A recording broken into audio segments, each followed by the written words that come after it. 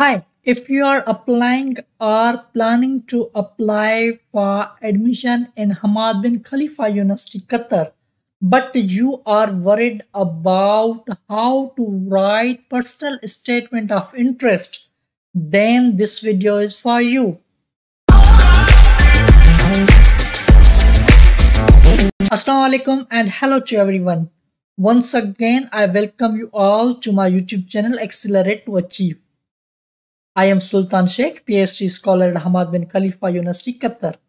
In this video, I am going to give you few tips regarding personal statement of interest. You know, there are different requirements for getting admission in Hamad bin Khalifa University, Qatar. One of them is personal statement of interest. So let's get started. Tip number one is that read the instructions given on the website. So the instructions given on the website for personal statement of interest include that you have to write personal statement of interest and explain why the candidate is applying to the program and how their studies will contribute to the achievement of their personal objectives including information about the applicant's research interest and achievements. You have to write minimum of 300 words and maximum of 500 words.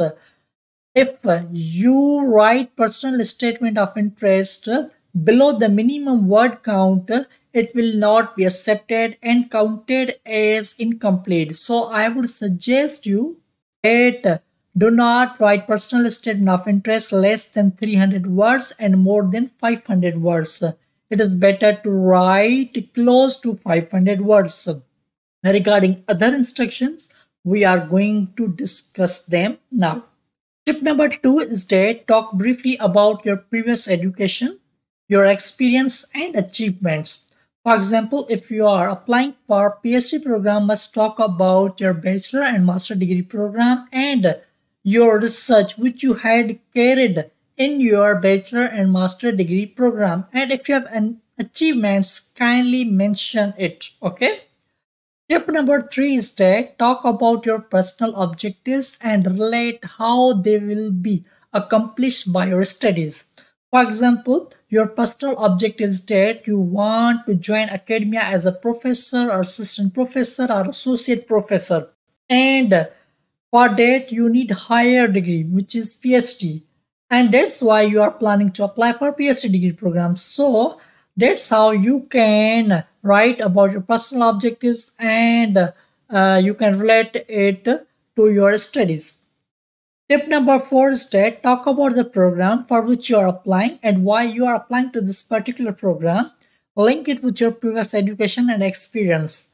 Do not forget to talk about the program. For example, you are, uh, want to apply for a master degree program in sustainable environment, mention it and why why are you applying to this program also mention about that and try to link it with your previous education and experience. Tip number five is to talk briefly about the research which you want to conduct while your studies at hbku so it is always better to give some idea about the research to your committee that you want to conduct uh, while your studies at hbku uh, to uh, get an idea about the research, I would suggest that kindly read the profiles of the professor at HBKU website and relate your research accordingly. Tip number six is that talk briefly why you want to study at HBKU Qatar. Uh, you can uh, also visit HBKU and get some idea that why you want to study at HBKU Qatar. Okay. Tip number seven is that do not copy it from internet. Just tell your story with flow and coherence. Uh, flow and coherence means do not talk uh, uh, here and there. Just go with flow. First, talk about your previous education, your experience, and your personal objectives, uh, and how you can accomplish by your studies, and talk about the program you want to apply, uh, and so on. So you must write your statement of interest with flow and coherence. Okay.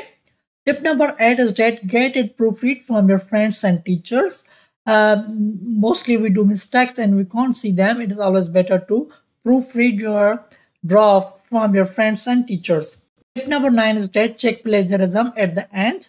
And tip number last but not least that you can do it. Okay? Good luck. If you have any question kindly let me know in the comment box below. Thank you so much. See you in the next video. Take care. Allah hafiz